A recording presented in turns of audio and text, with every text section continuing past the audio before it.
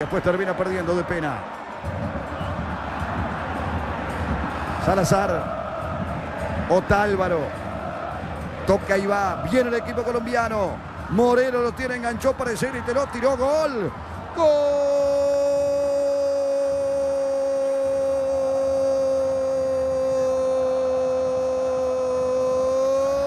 de Independiente Santa Fe Moreno.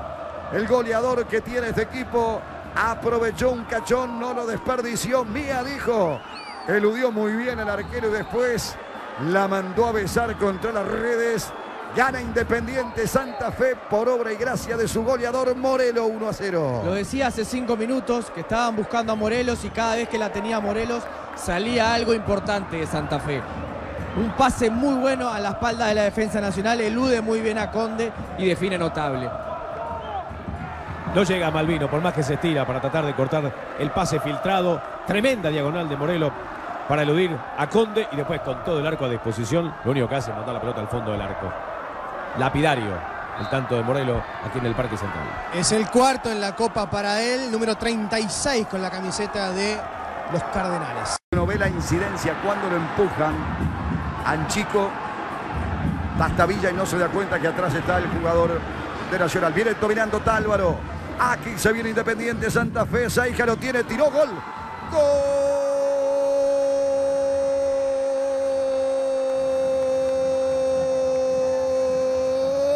de Independiente Santa Fe. Juan Manuel Seijas, tras una gran corrida de Otálvaro por la derecha, le mandó la pelota hacia el medio y el venezolano infló la red. Gana Independiente Santa Fe, liquida el partido el Montevideo. Juan Manuel Seijas lo hizo. Tomá y hacelo. Esa es la descripción exacta para remarcar lo que acaba de pasar en esta incidencia. Otra vez el lateral derecho se va solo, porque ya nadie tiene la fuerza para correrlo. Romero no llega, Porra tampoco.